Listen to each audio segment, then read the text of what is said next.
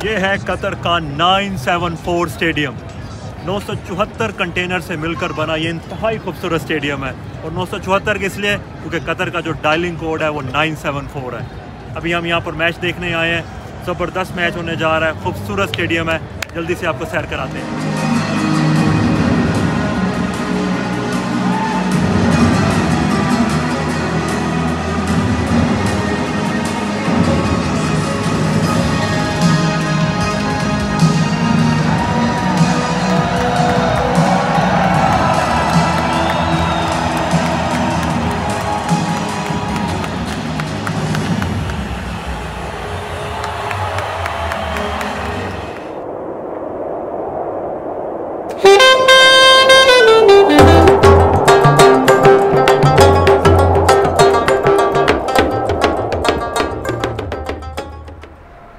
ये है मेरे पीछे नाइन, ये है मेरे पीछे 974 स्टेडियम।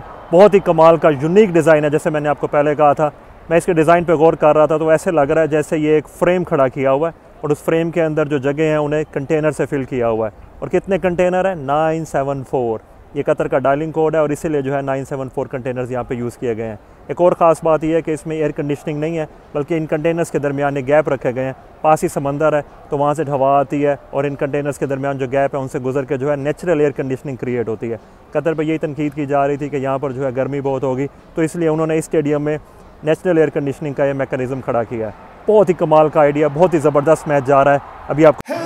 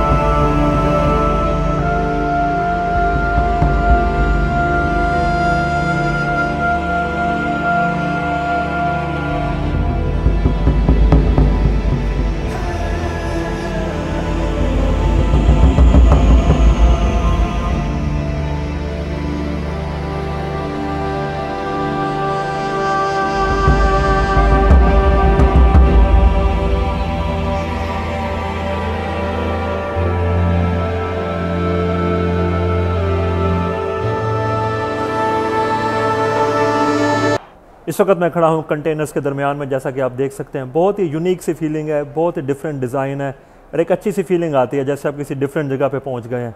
मैं आपसे माजत खाऊँ, मैंने कहा था कि मैच इतना इंपॉर्टेंट नहीं है, लेकिन मैच कमाल का जा रहा है। सर्बिया और स्विट्ज़रलैंड का मैच अभी तक पाँच गोल हो चुके हैं।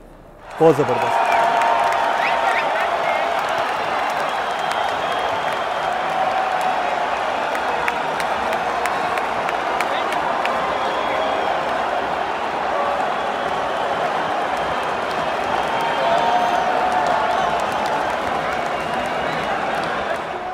भाई वाह, कमाल का मैच था। आज मज़ा आ गया। दोनों टीमों ने गोल पर ज़बरदस्त हमले किए हैं।